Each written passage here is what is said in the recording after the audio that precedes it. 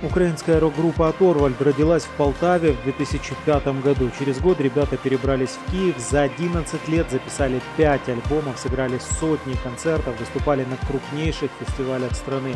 Осенью 2016-го «Оторвальд» презентовали свой пятый альбом «Наши люди всюды» и провели самый масштабный в истории группы концертный тур, который охватил 20 городов Украины. 18 февраля Торвальд будет выступать на отборочном полуфинале Евровидения с песней «Time».